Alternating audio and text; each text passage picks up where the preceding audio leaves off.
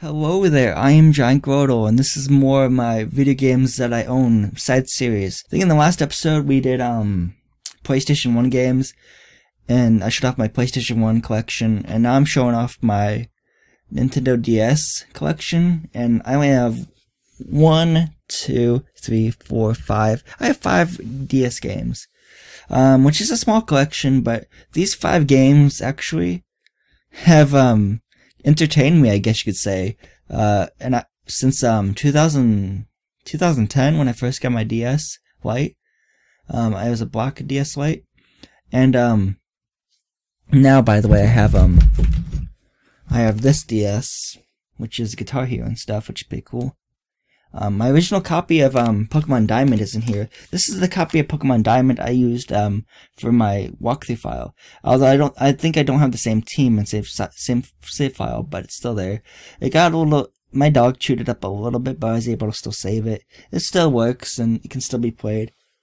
Um, so yeah, there's that. I just have to put this in here and uh, push it in, and it still clicks in as you you may have heard the click, but yeah, there's that. So yeah, I have um five games as I said before. Uh, so let's get right into it. The first game I have for my Nintendo DS collection is Pokemon Platinum. Yes, I have um I think I still have the same save file I did for my Pokemon Platinum walkthrough guide that I did back in like 2011, 2012. And uh, I, I, I got this game from uh, I got this game from where did I get this from? I got I think I got from a birthday or Christmas. I can't remember which one. I think it was Christmas actually. And um, it came in this case that was a 3D the DS case, but it was like didn't have any like art on it. Like it was just like a black um DS case that didn't have like cover art or anything. So I don't really have a case for this game anymore. I don't I don't even know where that case went. So that kind of stinks.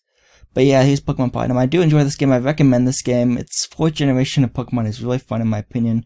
I think everyone should try it out, and it's a lot of fun. And I'm glad I still have this game. Yeah, it's pretty cool. Next, we have Pokemon Diamond, which is rated E. By the way, Pokemon Platinum was also rated E. So yeah. Um, I also did this. I originally did this as a walkthrough guide back in 2010. One of my most favorite, my I'd say one of my most weird walkthroughs actually walkthrough guides. And yeah, I really fun playing this game. I prefer Dialga over Palkia because Dialga looks cool in my opinion, and Palkia's pink, you know. I was like, I don't want pink legendary back in 2010. That's how my mindset was basically. But this is a fun game. I recommend it. I'm glad I still have the case for this game. It's really cool. And it's still in nice condition, which is awesome. So uh, I can't say anything really bad about this game. I, I liked it a lot, except for like the battle system was the I think this is the slowest in the Pokemon series. But if you can get past that, and the fact that you can in Pokemon Diamond and Pearl, the thing was with fire types is that if you didn't choose Chimchar, the only other fire type through the main game, excluding the after game, you could get was um was Ponyta. So you could either get a Rapidash as your final evolution as a fire type or Infernape. But if you didn't choose Chim if you didn't choose Chimchar as your start Pokemon, then Rapidash would be the only uh, only other option for uh uh, for um, a fire type. I remember like I saw Leroy and Super Skarmory and I all had to use Rapidashes as a final fire type because we did not choose Chimchar. I chose Turtwig in my original Pokemon uh, Diamond walkthrough guide and my redo walkthrough guide of Pokemon Diamond I chose Chimchar which is awesome because that's the that's um starter I didn't pick between uh Turtwig, Piplup, and Pot and uh in uh, Chimchar, I guess you could say. Because in Diamond, in Pokemon Diamond, my regular walkthrough guide, I chose Turtwig. Then I chose uh, uh, Piplup and Platinum. And then I chose, in my redo for Pokemon Diamond, I chose uh, Chimchar, so I could use all three of the starters. So yeah, but um, yeah, that whole fire type situation is just so I keep on putting my right hand back because I'm straining, kind of having to stretch over my camera and stuff. That's okay. It's not a tripod, so that's cool. But yeah, th that's a big deal. The fire type thing, Rapidash or Infernape, take your pick. They changed to them Platinum where they have a lot more fire types of Platinum, which is good. But yeah, those were the days back when you could only choose between two fire types, basically, in Diamond and Pearl.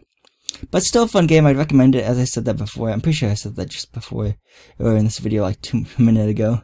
So yeah, let's move on to our next game. Oh, by the way, I got this game.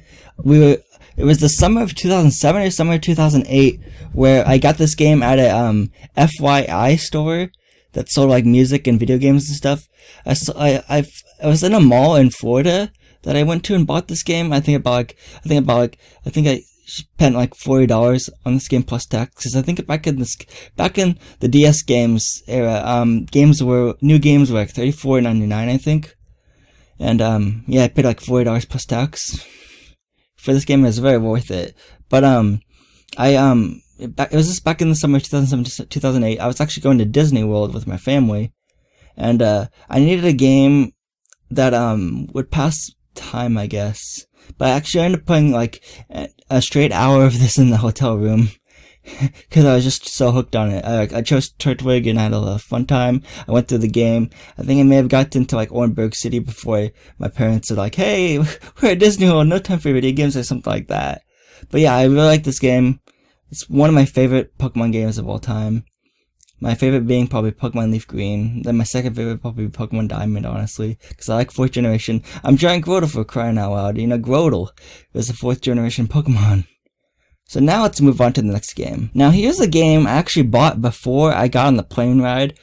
Okay, so I, I live I live in St. Louis, Missouri. So uh, St. Louis, Missouri to Orlando, Florida, where Disney World is at. It's a three-hour plane ride. So um, my dad told me to buy a game at GameStop, and I bought my I bought this game at my local GameStop close to my dad's house.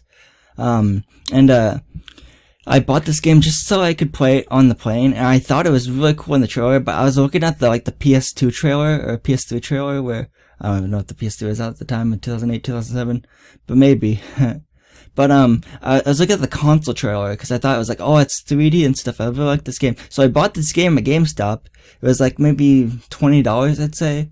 And, um, I like Ben 10 Alien Force, the show on Cartoon Network at the time, too, so that's what kind of you know, it I wanted to buy it because of that too, because of that reason.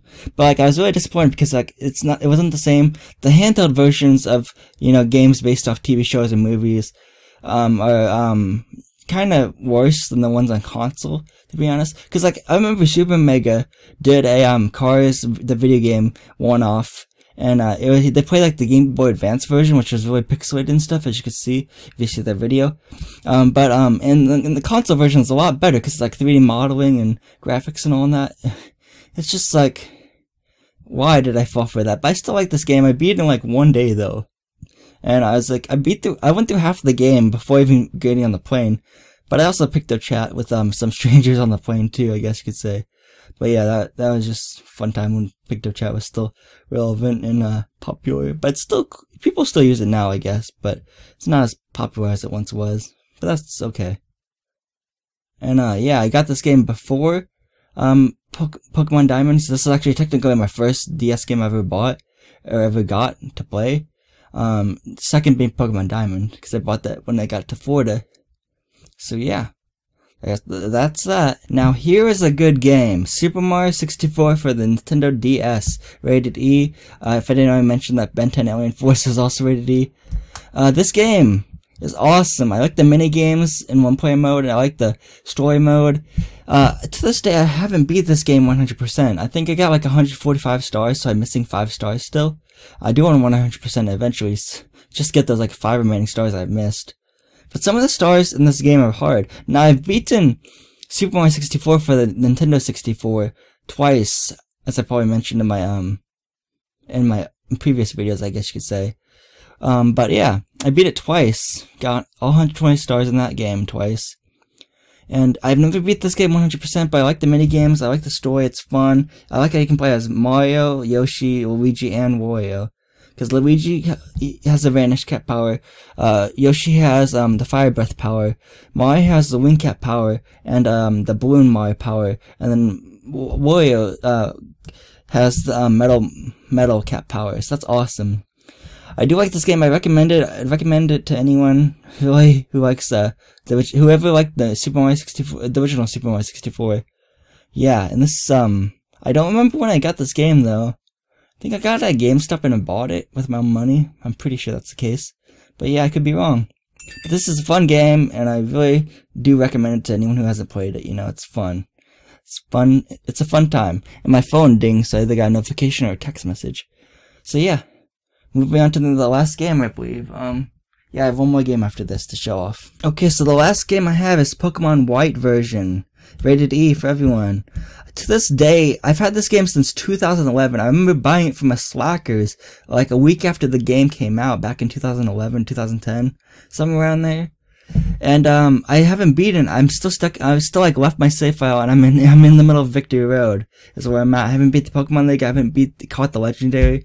Uh, I know one of the legendaries is Zekrom, but uh, I think the other one's Reshiram or something like that. Like, you know, Pokemon White, Black and White, I wasn't too into, and I've had this game for at least six years, and I've never beaten it. Through the got past the Pokemon League and uh, beat the Pokemon League and stuff, but uh, I do recommend it. Um, I know Trigger is doing a Let's Play of this right now, um, he's doing black and white, but like more of one of the others. He's doing more of black or white, but showing off like both copies. So I do want to try to get back into this game. I want to finish it eventually, but I just I don't have the motivation to like play this game, which is kind of sad because I do like Pokemon games, but it's like one of my least favorite Pokemon games right now still, which kind of stinks because I I still don't know how this really ends. I haven't really watched a walkthrough of it, how it ends or whatever.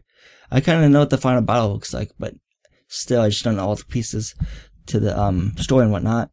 But yeah, uh, I got this game. I bought it from a Slackers, as I said, back in 2010 and 2011.